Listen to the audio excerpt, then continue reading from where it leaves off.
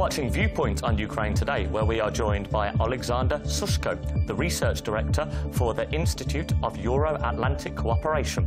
Mr. Sushko, thank you very much for joining us. You're welcome.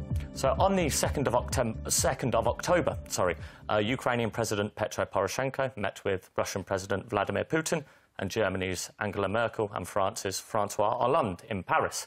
Can you tell us what was agreed? So that was a meeting very important to clarify the next steps and the sequence of the steps in order to continue with implementation of Minsk agreement. Now we may identify more or less stable ceasefire, but this is a military dimension, hard security dimension of the res resolving conflict. And then we have to proceed to the next stage, which is likely to be some political solution. And here there is uh, things much more complicated than in the military sphere, because then it was very simple. You just not uh, to shoot, uh, uh, the sides need to withdraw weapons. So that's quite simple, and the monitoring is to be provided. In the political part, there are lots of uncertainty.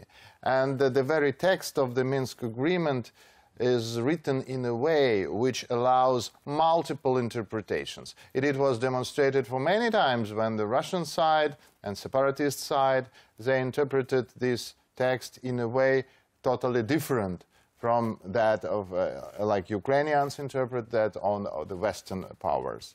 So the meeting was needed in order to agree on the next steps and the conditions to be met in order these steps to be done. First of all, it is about what is called future free and fair elections in the uh, non-controlled territories uh, of Donbass.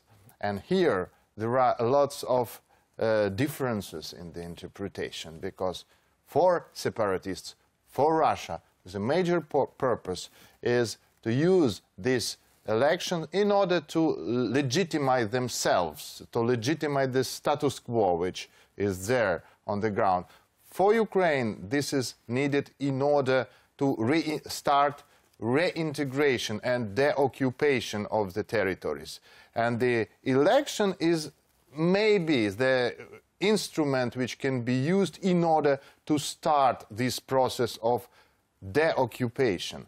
First of all, because there are internationally recognized standards um, prescribed by OSCE, signed by Russia and the others, which requires some basic conditions before you start elections. First of all, the, uh, the, the, uh, there should be clear guarantee of physical security of those who are taking part, of the candidates, of voters, of uh, observers, of journalists, regardless of their political views. Uh, then there should be full freedom of political, legitimate political activity. So Ukrainian political parties should be able to go there openly and to campaign. Uh, uh, and to, to, not just register their candidates formally, but also to be able to, to speak to the local audiences, to um, to um, campaign on the streets, to have uh, TV uh, broadcasting locally, etc. So there are all these elements which are uh, uh, elements of the free and fair elections should be ensured. This is the hope of Ukrainian side, and that this is a way how step by step reintegrate these, uh, these territories into Ukrainian political space. And the voting itself is just a final step of that. So in the end, you have a voting date, and then you have a legitimate local authorities. So this is a Ukrainian position, and this is basically supported by the uh, Germany and France. However, there are some nuances remained, and I think that the next few weeks, and maybe even next few months, we will have very strong debates about the, these preconditions for free and fair elections. So for these elections to go ahead, the Ukrainian parliament must enact new legislation. Do you think Poroshenko has enough support from the parliament in Kiev to be good or come good on the promises he made in Paris? Uh, so there is uh, there is a question what, uh, uh what is in this new legislation because uh, the support depends on the substance, what is behind.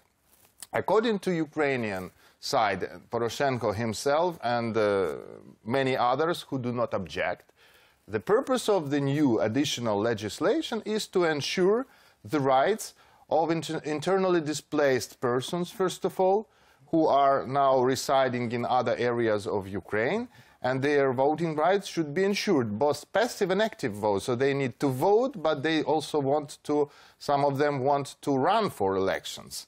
And so, and there, is, there should be a specific procedure uh, because in the normal legislation you just don't have this.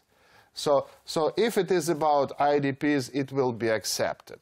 But uh, for Russia and for separatists, this uh, legislation needed for some different things they need to fix their own, I would say, primacy. So the, they want to control fully the process and each, at each stage. And for the, they demand Ukraine to adopt legislation which will be formally uh, under Ukrainian uh, legal umbrella, but in fact it will be fu fully controlled by, by, lo by locals. And some would say that Poroshenko has given away too much.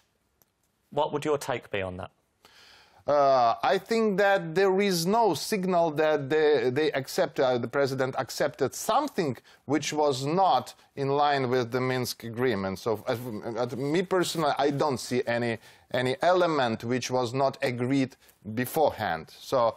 Um, uh, certainly there is a, uh, if you wished, if, uh, if Ukraine wishes to have some step-by-step political process to reintegrate these areas, they need to go to be prepared some way to conduct elections there. And certainly they need to have, uh, so Ukraine has to compromise on some areas. And uh, by the way, I uh, may just identify that in the society there is a here in the Ukraine, there is a wrong perception of some elements of the agreement. For example, there is a big fear of the amnesty. But amnesty is something which I think would be rather not appropriate for the separatists than for Ukrainians. Because uh, amnesty is an instrument which is used on the individual basis, first of all. And this is an instrument which may be used only after the whole investigation over the crime is done and the court takes a decision and the person uh, uh, is uh, uh declared to be guilty, yes, and then amnesty may be applied. Not before that. But I'm, I, I think that some people understand amnesty as, as amnesty for everybody without any courts. But this is not true. So that is why I think that the government should just explain better their position to the society, in particular that amnesty is not just withdrawal from all legitimate procedures when the crimes so are committed. you would say this is maybe a lack of a lack of information. People don't actually understand what was agreed, and then this uh, results uh, in things like what happened on the, the 31st yeah, of uh, August. partially, yes, uh, because this is a this is a lack of understanding of certain standard procedures.